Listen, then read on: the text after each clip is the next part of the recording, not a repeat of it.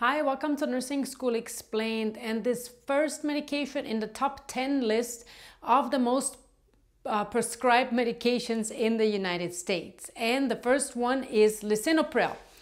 Now, lisinopril belongs to a class of medications called ACE inhibitors, so that is angiotensin converting enzyme inhibitors and its indication is the treatment of hypertension and it's also the first line treatment for heart failure. So keep that in mind depending on whatever your patient needs it. Many times hypertension and heart failure go together. As for an action, it blocks the conversion of angiotensin 1 to angiotensin 2 by inhibiting this ACE angiotensin converting enzyme. And both of these act as a vasoconstrictor. So if we don't constrict the vessels, the blood pressure is going to get lowered.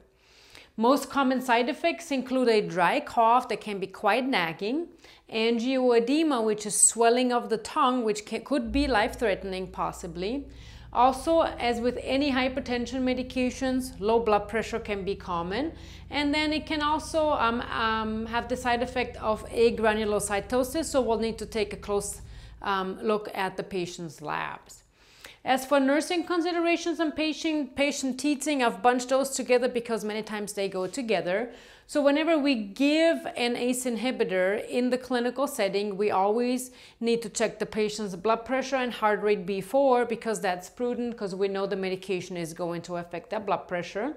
And because it works on the renal system, we need to make sure that their renal function as well as their electrolytes, especially sodium and potassium levels are normal so that we're not causing an imbalance when we're giving the patient this medication. Now, patient teaching is it could cause orthostatic hypotension, so we want to make the make sure to tell the patient to change position slowly when they get up. As well, it could make them a little dizzy or drowsy. It could affect their blood sugar, especially during the first month as they're trying to get used to this medication. So uh, being on top of the blood sugar will be very important. And ACE inhibitors are contraindicated in pregnancy and lactation. So if this is a patient who is of childbearing age, it is very important to make sure that they are on a reliable method of birth control. And if they are planning to become pregnant, to talk to their provider so that they can be switched to a different medication.